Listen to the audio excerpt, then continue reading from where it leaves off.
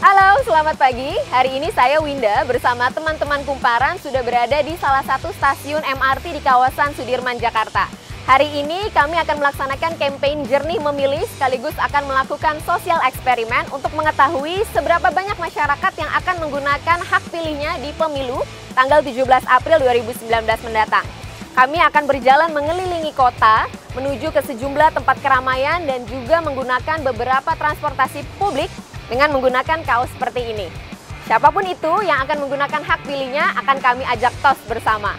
Mau tahu keseruan kami akan seperti apa dan mau tahu seberapa banyak masyarakat yang akhirnya akan menggunakan hak pilihnya pada pemilu nanti? Yuk ikuti keseruan kami hari ini.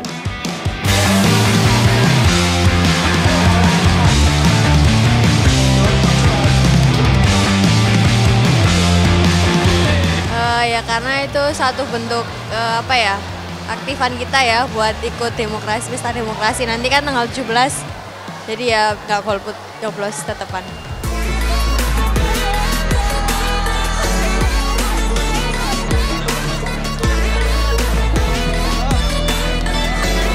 uh, tadi teman-teman tadi ngajakin nyoblos gitu biar nggak golput ya. Karena golput itu satu suara buat kita itu bakal buat negara kita lebih baik kelihatannya seru kayak kakak-kakaknya punya kegiatan yang positif. Aku lebih suka ngeliatnya tadi kayak menarik aja gitu kan. Terus kebetulan kan tanggal 17 mau ada pemilu, jadi aku mau tos.